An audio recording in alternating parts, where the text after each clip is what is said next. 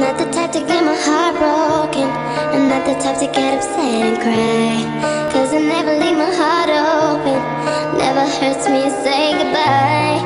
Relationships don't get deep to me. Never got that whole in love thing. And someone can say they love me truly. But at the time it didn't mean a thing.